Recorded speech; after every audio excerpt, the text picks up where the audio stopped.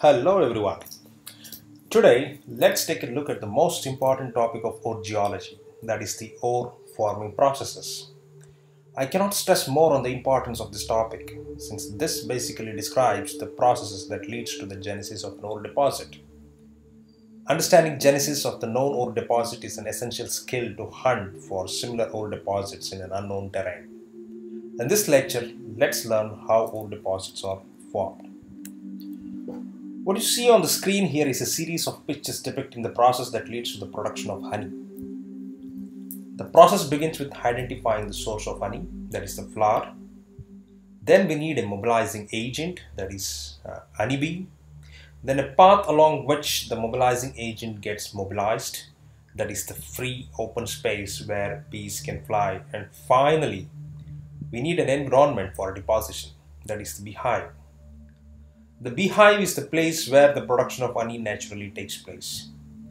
There is too much similarity between the process of formation of honey and the process of formation of ore deposits. In the formation of ore deposits too, a source is required from where the required elements or metals are scavenged, transported, concentrated, and accumulated to form ore deposits. The formation of ore deposit is mainly controlled by the factors such as availability of metals, fluids, that is the carrier, and ligands. Don't worry if you don't know what a ligand is, I will let you know in a couple of minutes. Availability of channels, pathways, or the mobility of the fluids that carries metals, driving force behind the mobility of the fluids, and lastly, changes in pressure, temperature, and chemically active fluids condition. When all these factors are favorable in a locality, an explorer is sure to get a mineral deposit. Success in locating a deposit depends on how one connects the dots during each and every stage of exploration. Understanding the ore forming process is primary component of such an ore mineral exploration drill or exercise. The sources of metals are mainly rocks of crustal or mantle origin. Metals such as magnesium, chromium, nickel, cobalt, and platinum group of elements, that is PGEs, are sourced from mantle. Metals such as iron, copper, manganese, and zinc are sourced from oceanic crust. Aluminum, zircon, rare earth elements, and thorium are sourced from lower continental crust, whereas tin, tungsten, molybdenum, lithium, rubidium, beryl, bismuth, tantalum, niobium, lead, and uranium are sourced from upper continental crust. Generally, the metals from these sources are mobilized by fluids. Leaching by aqueous fluids such as magmatic, metamorphic, meteoric, basinal brine, and seawater in the presence of ligands is a common process. Similarly, partial melting of source rocks too mobilize the metals by magma. Generally, metals doesn't easily dissolve in aqueous fluids unless the fluids are enriched in certain chemical species known as ligands. Ligands are electron donors or electronegative ions with lone pairs of valence electrons.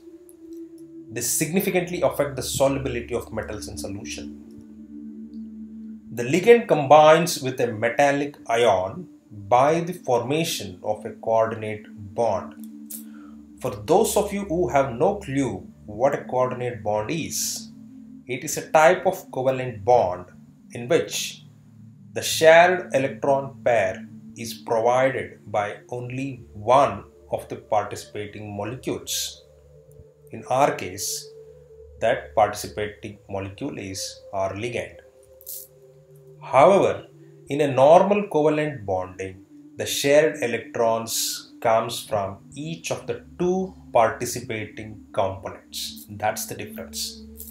Also to be noted here is a ligand that promotes the formation of complexes by coordination bonding will typically increase the solubility of metals in aqueous ore forming solutions. There's a general principle too for the ligand complexing.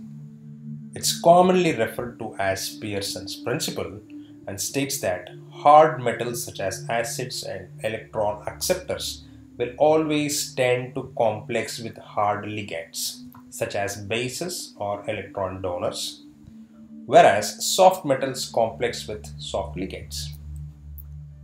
A borderline category indicates the metals that can complex readily with both hard and soft ligands, forming a range of minerals such as sulfides and carbonates.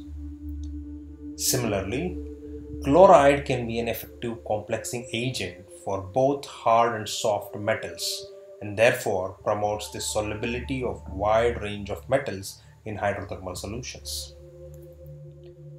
So how do you know which of the complexing species or ligands were available for transporting metals? That is very crucial to understand. There are two known ways of determining that. The first one is to study the fluid inclusions which are regarded as the true samples of ore fluids. Fluid inclusions are the fluids trapped within the minerals during crystallization. The second one is the evidence from alteration minerals in the wall rock around the mineralized zone. For instance, if the fluid rich in tungstic acid interacts with the potassic wall rock containing predominantly K feldspar, then the feldspars will be converted to muscovite while tungsten gets precipitated. There can be several pathways inside the crust and mantle through which the fluids migrate before the mineral precipitation takes place. Some of them are fractures, breccia, and porosity. The driving force responsible for the migration or mobility of the fluids are convective circulation of fluid around any heat source, for example, like you have submarine volcanism that gives rise to VMS deposits or felsic magmatic intrusion that gives rise to porphyry copper deposits. Similarly, we have gravity driven fluid flow and fluid flow influenced by geothermal gradient. These are the forces that drives the fluids from the source of origin to the source to the sink Trapping the ore in a particular locality, that is the sink, requires drastic change in PTX, pressure, temperature, and chemically active fluids. For instance, decompression lowers the ability of the ligands to hold on to the metal species in the fluids and hence promotes precipitation. Similarly, when the high temperature metal bearing fluids comes in contact with much cooler seawater, through the submarine volcanic vents, there definitely is a change in temperature. That too promotes metal precipitation. Further, when the metal bearing fluid, which is generally acidic in nature, comes in contact with the rock that is more alkaline, it results in metal precipitation due to change in the chemical environment. Most of the times, please to remember combination of factors like variations in pressure temperature or temperature and chemically active fluids or pressure and chemically active fluids or pressure temperature and chemically active fluids all three combined will be responsible for metal precipitation. So one must be very careful while assessing the probable reasons for the occurrence of metallic minerals in a particular locality.